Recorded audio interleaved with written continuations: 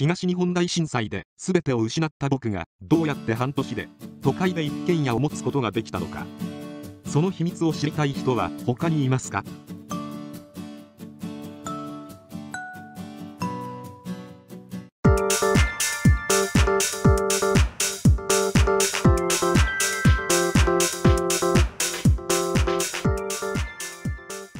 無念のノーゴールだった。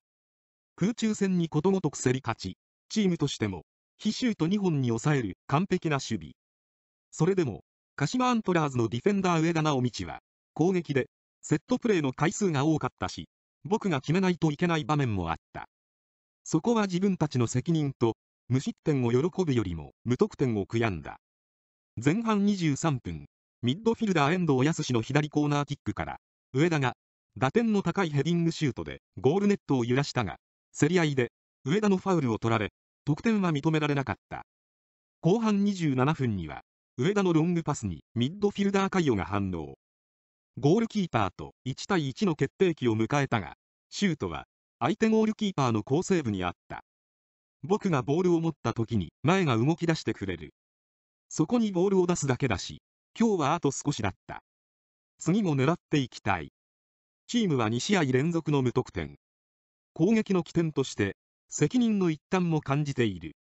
熊本県宇土市出身の上田は被災地への思いを胸にプレーを続けている。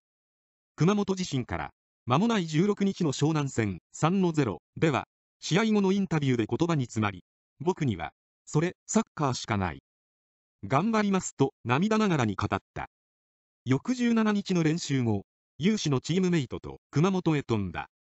18日の練習がオフだったこともあり熊本県内の避難所を慰問するなど被災地の支援活動を行い同日中に鹿島に戻った。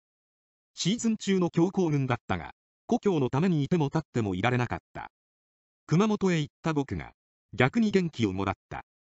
熊本の方々はすごく苦しんでいるのに頑張ってと応援してくれた。サッカーができる幸せを改めて感じたし今は試合で90分しっかりプレーすることしかできない。自分を応援してくれる人たちのためにも下を向いている時間はない。